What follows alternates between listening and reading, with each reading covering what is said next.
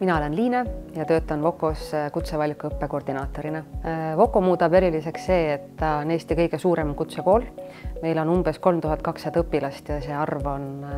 on vaikses tõusutrendis ja meil on ka kõige suurem arv neid õpilasi, kes tulevad kutsekooli peale põhihariduse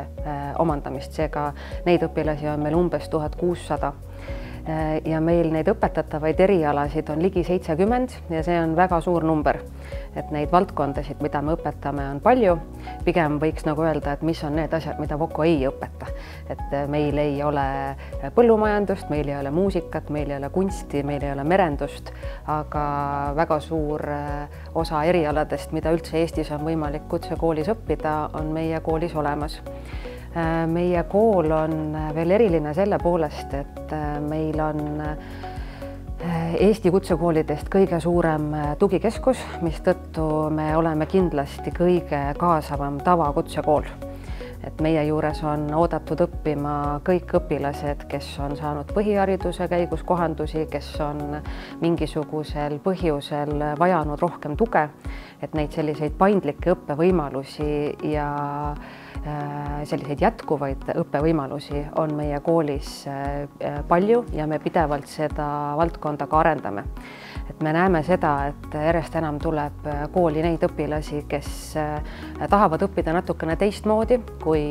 kui tavapärane on ja, ja see on meie jaoks ka nagu väga oluline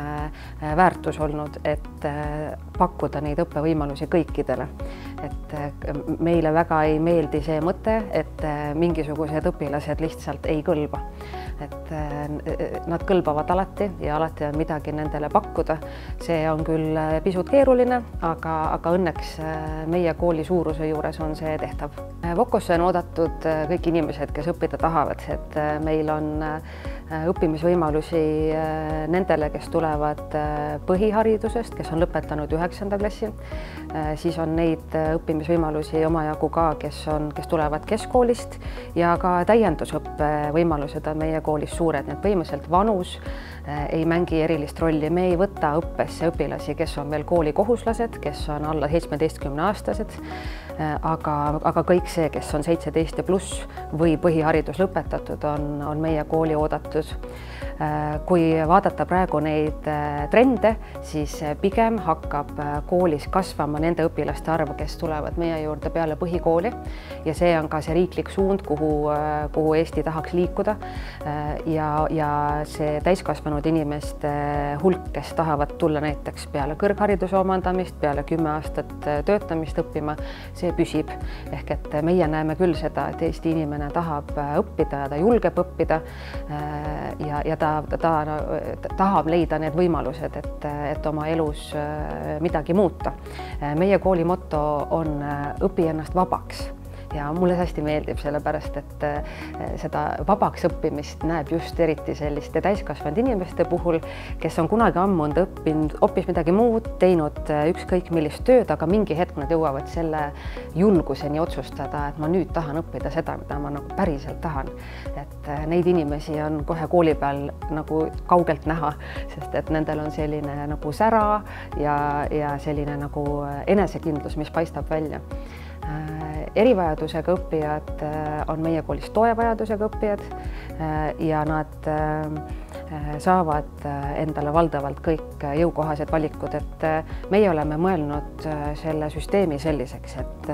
me ei taha, et toevajadusega õpilane peaks kutsekoolist lahkuma alaealisena. seega, kui tuleb mõni kuueteistkümneaastane siis ta ei lähe koolist enne välja, kui ta on vähemalt saanud täiskasvanuks, ehk et me saame leida võimalusi, kuidas neid õpilasi hoida, hoida koolis ja anda nendele võimalikult palju kompetentsi. Ehk et tagada seda, et kui ta siis tööturule läheb, siis tal on rohkem kui üks asi, mida seal äh, müüa. ja mm, üks asi, millega me peame palju rohkem leidma võimalusi, on see, kuidas äh, töötavatele inimestele pakkuda selliseid veel paindlikumaid õppelahendusi, sest et täiskasvanud inimestel ei ole kerge äh, töö ja pere kõrvalt käia täiskoormusega koolis. et äh, praegu meil on valdavalt sessioonõppe võimalused, aga ka see on teatud inimeste puhul võimatu, sest et tööandjad ei pruugi olla lihtsalt valmis nii suure koormusega õppimiseks õppimist võimaldama, nii et me tahaksime liikuda sinna suunas, et, et ka täiskasvanud inimesed saavad võimalikult paindlikult koolis käia. võib-olla see kõige suurem selline kvalitatiivne nihe on toimunud selles, et me oleme üle läinud mentorlusele. Äh, meil enam ei rakendata kursuse juhatamist äh, või klassi juhatamist, kuidas keegi seda kasutab, aga äh, mentor ei ole niivõrd selline kontroll ja teadmiste andja, kuivõrd suunaja, ehk et see eesmärk on see, et õpilased saaksid sellise parema oskuse ennast juhtida. Ja, ja teine selline erilisus on see, et kestlik areng ei ole kunagi varem olnud nii suures fookuses, et kestlik areng igas mõttes, selles mõttes, kuidas, kuidas neid erialasid, mida meil õpetatakse, oleks võimalik kestlikult õpetada, kuidas need inimesed, kes selle hariduse meie juurest on saanud, kannaksid edasi sellist kestliku arengu põhimõtet ja noh, hariduse mõttes, organisatsiooni mõttes just see, et kuidas ikkagist käia kaasas nende väga kiirete muutustega, mida tööturg tegelikult inimesele ju paneb. et me ei taha toota eilsete oskustega ka inimesi tööturule, kes peavad äh, sattuma ebamugavasse olukorda, sest et nad näevad, et nad ei suuda äh, pakkuda täpselt seda, mida tööturg vajab. ehk et see selline äh, fookus kestlikule innovatsioonile on see, mis, mis meid praegu iseloomustab, et näiteks koostöös Tartu Kunstikooliga sellel aastal esimest korda toimub meil siis kahe kooli ühisõppekava, mille nimetus ongi kestlikud tehnoloogiad, kuhu me ootamegi põhihariduse hariduse järgseid õpilasi, kes, kes on siis nii-öelda esimesed, kes saavad katsetada, et kas selline täiesti nagu innovatsiooni eh, käigus tekkinud õppekava, mis loodigi sellepärast, et seda on nii väga praegu vaja, seda varem ei ole olnud, et kas, kas see on see, mis noori kõnetab kutsehariduses toimuvad äh, mitmed reformid ja varsti muutuvad äh, põhihariduse baasil õppekavad taas nelja-aastasteks. ka see kestliku tehnoloogiate eriala on nelja-aastane, sest et äh, kutseharidus tahab üha rohkem pakkuda